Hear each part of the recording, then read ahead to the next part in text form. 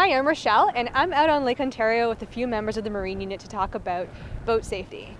It's Constable Rich Baker. I'm the uh, Marine Unit Community Service Officer. Tell us some safety tips you have for boaters this summer. We, we come alongside these people. They're not dressed appropriately. They don't have the equipment that they need. Um, the radio, so many people rely on their cell phones or the, the radios on their vessel, and that unfortunately is not going to save your life in a, in a real emergency. For sure, life jackets. Life jackets, PFDs, whatever you want to call them.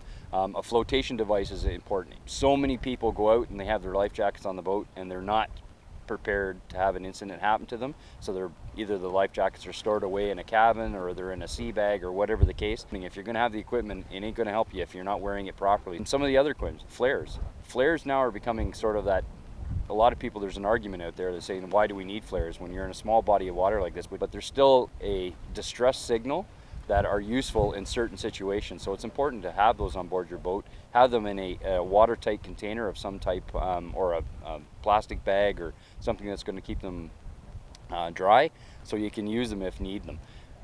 Buoy and heaving lines, um, exposure suits, you know, rain gear, that type of thing. Equipment that's going to keep you warm or is going to help you do a rescue or self-rescue when you're out there. Very, very important as well.